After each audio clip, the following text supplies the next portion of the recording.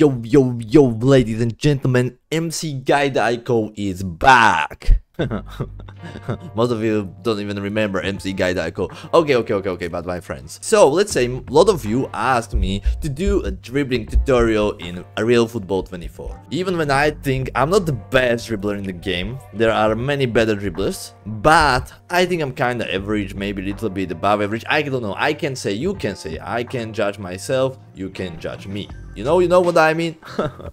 so I decided I'm gonna do this dribbling tutorial for you. At least I will give you the tips and the things I already know. Maybe I give you some combination, what I use.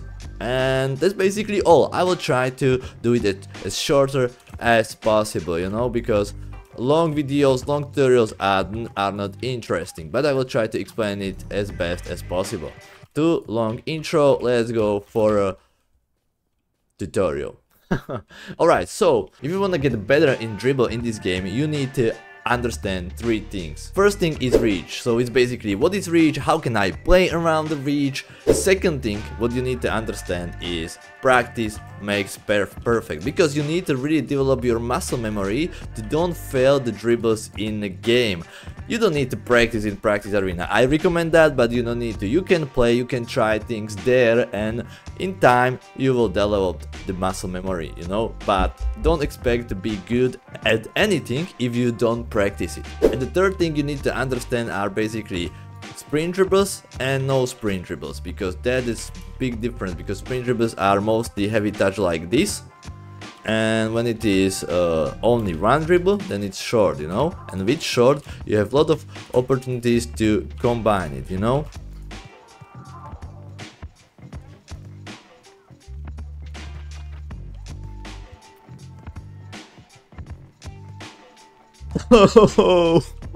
Alright, so reach we all know reach we know how frustrating it is and and we know it's kinda stupid but what is basically a reach reach is here because of terrible Roblox netcode. What is netcode is really hard to explain. I will leave you video in the description what really explains the reach kinda in simple way but really good, okay? But I can explain you how the reach works in the game the best on one video. So I made this clip here just for purpose of this video. So, alright, editor Hajko's again here because I found out I said it incorrectly because it's really hard to explain, but I will show you here in the paint. okay, so this is you, okay? This beautiful pixelized guy is you. This is the ball on your screen, alright? This is the opponent behind you. This is your screen, alright? Okay, so your screen, alright? You are far away from them, he is behind you. But what they see on their screen is you, you, they see you in the past. Okay, so this is their screen, so he is still here. Good recreation, right? but you on their screen are are or is is you are you are so you are here on their screen because of the milliseconds difference. So they see you and they see the ball in the past. So this is your screen, you're far away. On their screen, you and the ball are in the past, so they touch it, okay? They don't have big foot on their screen, they don't see the ball far away from them and they touch it with a, like some big touch, big foot. No, on their screen they see you in front of you. So it means that when you do some dribble, you already are far away from him, but on his screen you are probably just doing the dribble. It depends on the ping, because how much MS you have, how much they have, and so it combines, blah blah blah, hard to explain, you will see in this clip. So, I'm running with the ball, I do here, wait, wait, wait, here, drag back, and dribble LMB back, like basically I move forward. But you need to be looking on this guy. I do drag back and I run forward. Did you see? I was already running forward and he just turned around. Okay, once again. I'm running forward and he just turned around. So he just saw me performing that dribble when I was already on my screen running away. That's why they reach you even when you are far from from them because they on their screen they see the ball in the past they see you in the past and on their screen they saw that you that they hit the ball okay? So that's why you see reach it's not like they see on their screen that they have big touches. No they see totally normally like you but for them you are in the past okay? Hard to explain. I hope you understand. Once again all right so i'm running forward drag back forward and he just turned around now and i'm already and i'm already he just turned around now and i'm already running forward you see?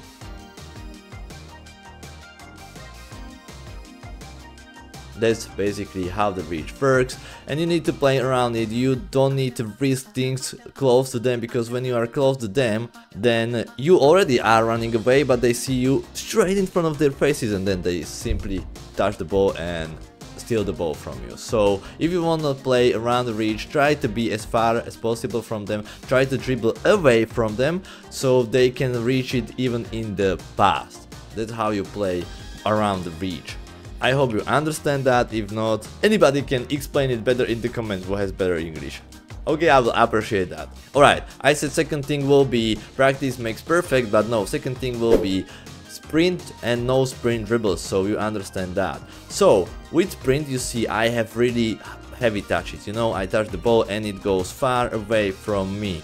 With no, no sprinting, I have really small touches and the ball don't go so far away. So I can basically follow the ball and do combos easily.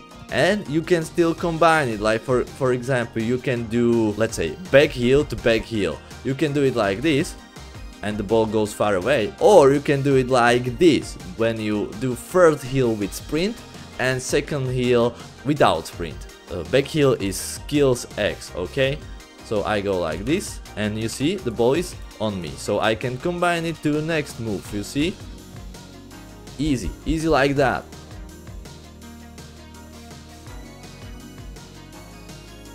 So you need to learn when you wanna do uh, heavy touches and when you wanna do short dribbles without sprint. Short dribbles are basically for the combos.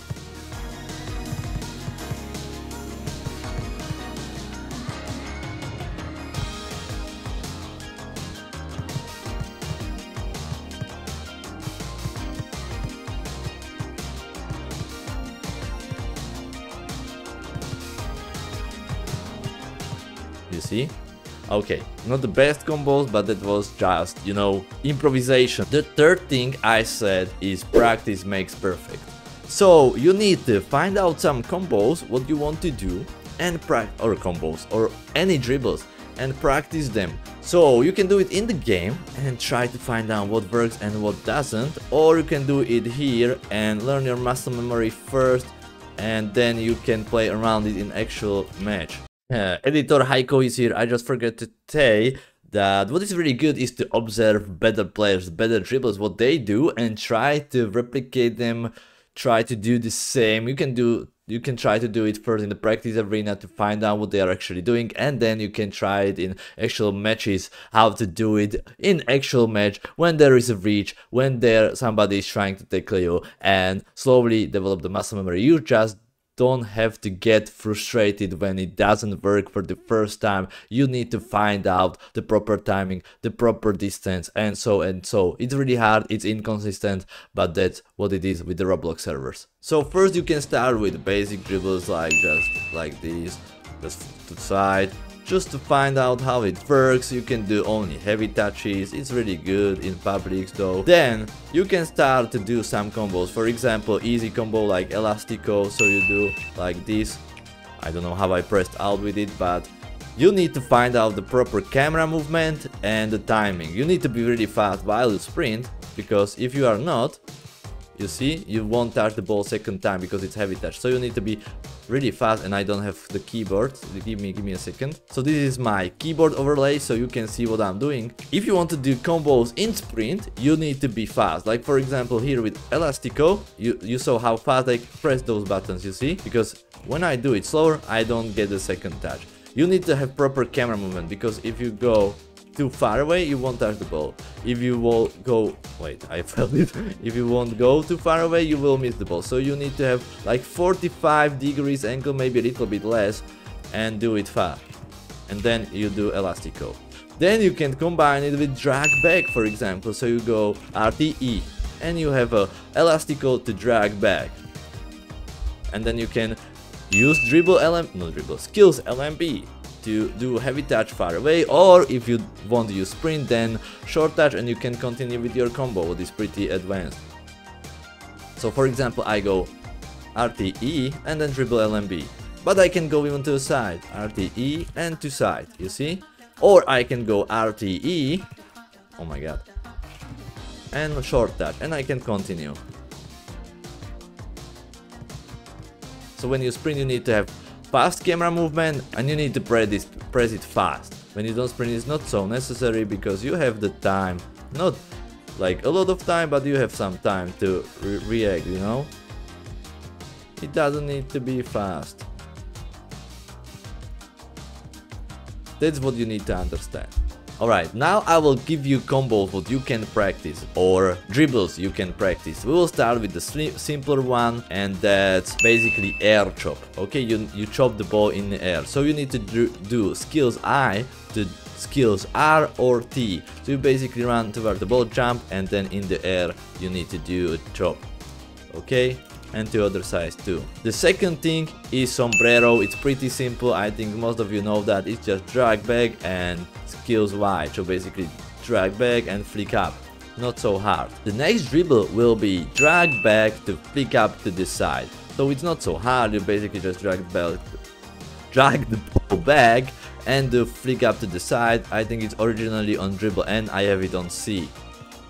And then you can have a basically air dribble to the side, but it's slow. For me, it's better to do this. Okay, next combo is Elastico, but I showed you that already. Next dribble is Elastico to drag back, you saw that too. Elastico drag back to dribble, you saw that too. And good combo and good or good dribble, and you definitely underrated is a drag back to basic dribble forward with heavy touch. You saw that on that clip and they basically will start to run away from you and you have all the time of your life to run forward, to run away from them.